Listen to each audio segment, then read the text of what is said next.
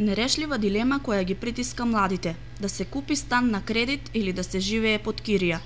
Кириите не се ефтини, ама каматите се уште поскапи. Какви времиња доаѓаат? Како да се испланира иднината?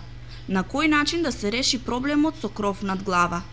Тоа се дилемите кои најчесто го ги притискаат младиот човек, кога зачекорува во семејните животни предизвици. И од тука дилемите што е поисплатливо, дали да се купи стан на кредит или да се живее под кирија.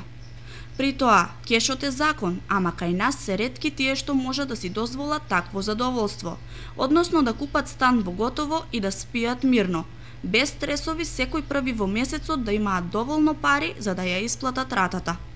Македонските граѓани, како и оние во обкружувањето, главно живеат на кредит – сериозен минус на дебитните и многу поголем на кредитните картички.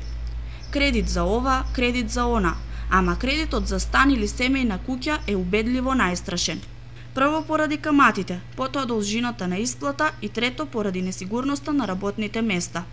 Сепак, со или без стрес, 90% од становите во државата се купуваат на кредит. Во помалите места како Кочани, работите стојат поинаку, бидејќи тука секој ќе се снајде некако, со продавање на некаков имот, наследни објекти и слично. Вечната дилема е дали парите што се плаќаат за кирија можат да отплаќаат месечни рати за стамбен кредит.